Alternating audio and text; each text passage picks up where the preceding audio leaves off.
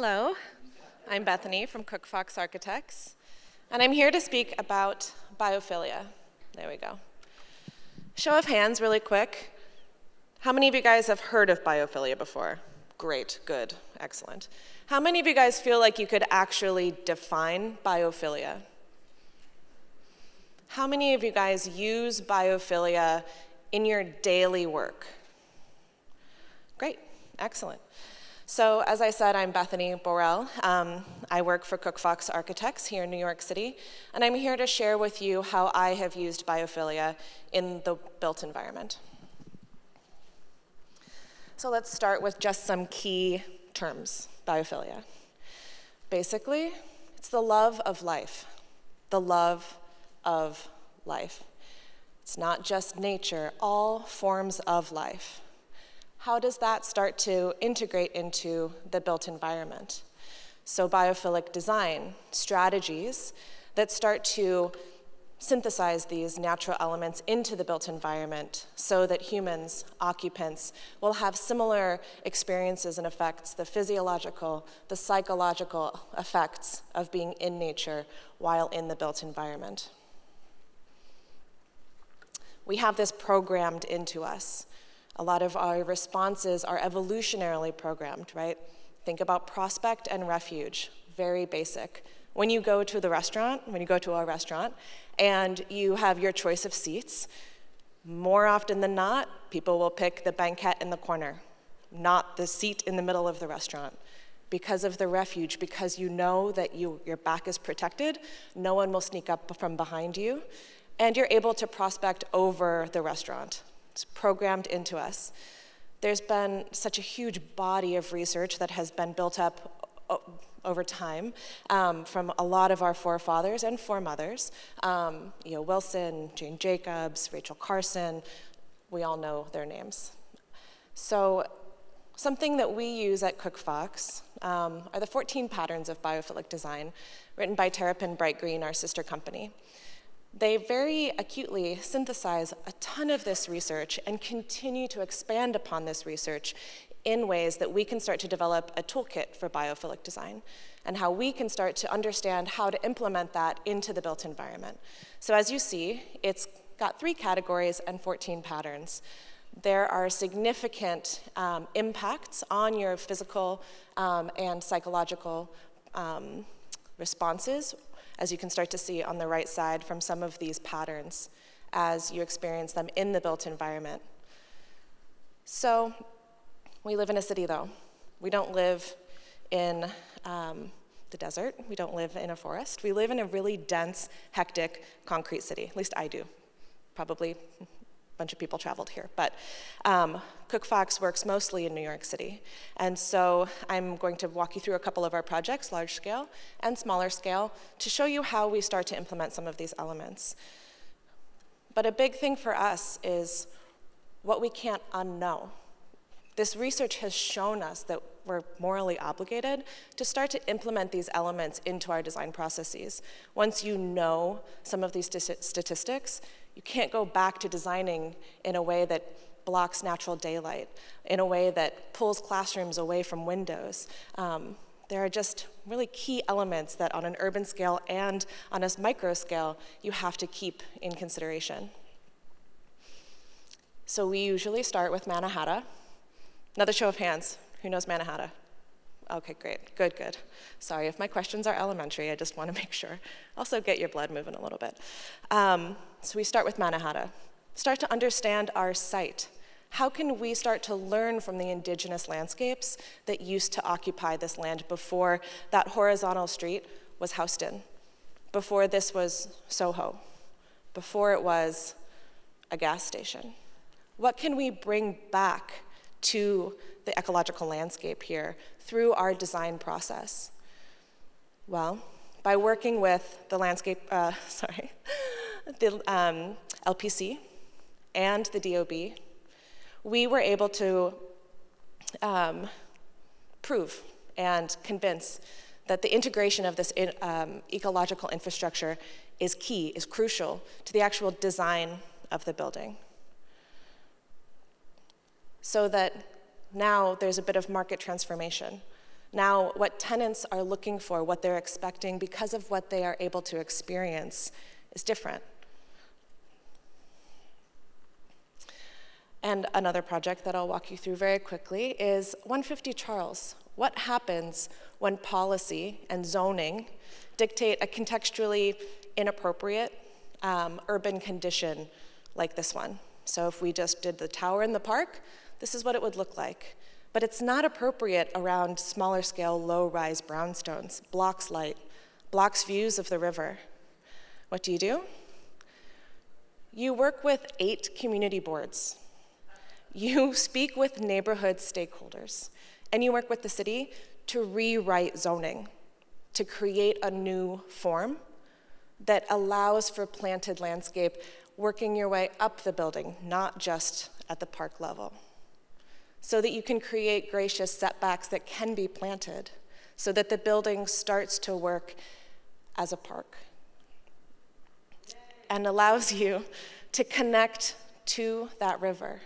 And it pulls the landscape, the active park along that Hudson River Parkway into the West Village instead of blocking it. In the case of historic structures like this one, just a bit north of the one that we were just looking at. What happens when you have an older building that is, it was thriving when the shipping industry was uh, transporting um, merchandise from the river through these uh, storage facilities and to our kitchen tables, to our living rooms? What happens when that's no longer the industry? It becomes a physical barrier between the neighborhood and that riverscape.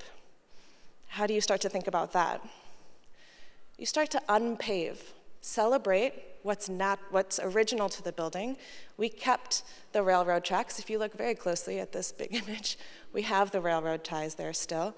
But you start to peel back and you create a front porch condition so that it's not a little tiny tunnel that people can kind of catch a glimpse of the river through, but instead it's a gracious landscaped plaza that the neighborhood can um, walk through and see through and experience to get to that landscaped element. And pulling the landscape up through the building. So it's integrating it on all dimensions so that the full view of the river is available um, to all the occupants.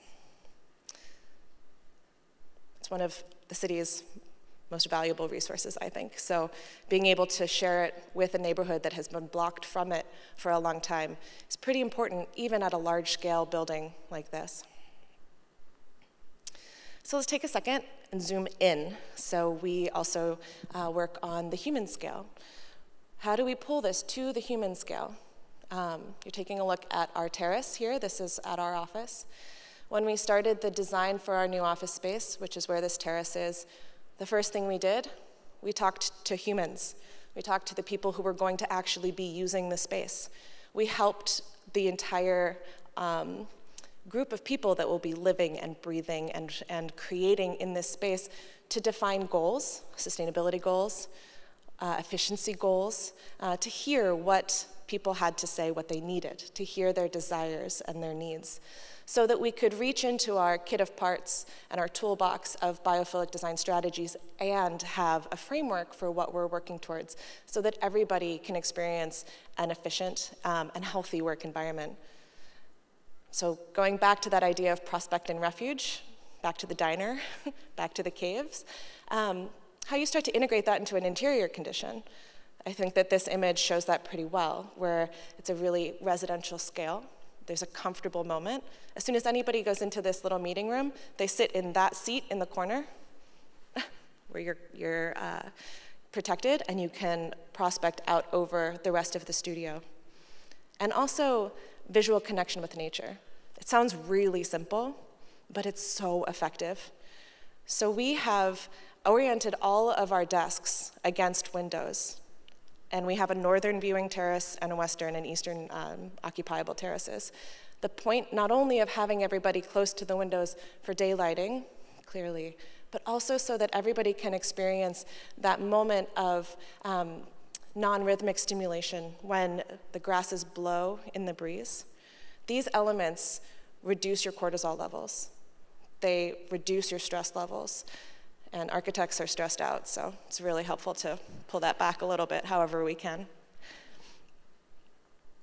Complexity and order is another element that we like to bring in. As humans, we want to organize things, right? We want to put things kind of in categories and for better, for worse. And, but the idea of ge uh, geometric complexity and order, it calms us, again, with those cortisol levels. If there seems to be a rationale for why things are set at different datum, responding to original architecture, uh, that is key for helping us feel safe. This is an image of our East Terrace, nestled amongst historic buildings all around us. We're on 57th Street, so that is um, originally Automobile Row, so you've got some pretty um, historic elements around here. But creating a park up on the 17th floor for our guests and our um, occupants to enjoy, to actually step outside into nature.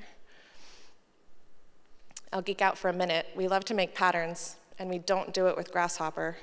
We do it the old school way. So we find um, something on site that is important to us, that is native to that site, and we start to break it down, abstract it, reconnect it, rebuild it to create um, forms and patterns that are similar but not identical to, so that we can start to have that same response as you would to the natural pattern.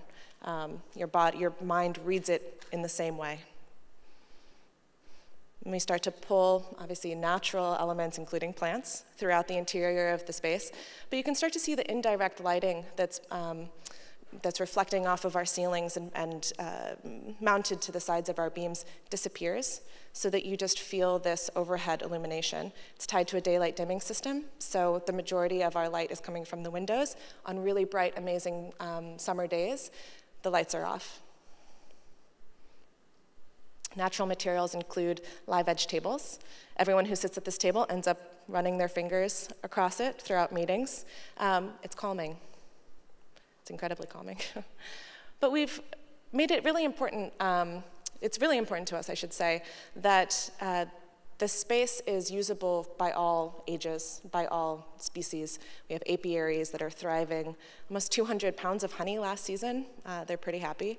And we have planting days so that our occupants can actually, our employees can come and dig in the dirt and watch things grow and bring their families. And now I'm going to shift over to a school that we're working on called Marymount School of New York. It's actually not too far from here. Ground up construction project for an all girls school and how we start to implement some of these strategies into the interior scape of that building. The sense of community through an inter internal stair that pulls up through um, a curtain wall atrium. So maximum daylight, full exposure to the um, natural systems of um, planting out on terraces and the effects of the weather. But again, we started with a charrette. So meeting with our sustainability strategists, meeting with the client, meeting with teachers, meeting with students. It was a really long charrette, and we were able to pin down some goals and figure out what were some really key elements for us. So you can start to see that they wanted the building to be safe and resilient. Resilient was a huge thing for them, but also safety and security and the feeling of home within the school system. So, as I had mentioned before, um, the access to daylight was incredibly important to us in, this, in a school setting like this. So we pulled all of the classrooms to the primary north and south facades where they will get the most daylight. And we saved other program for the interior portion.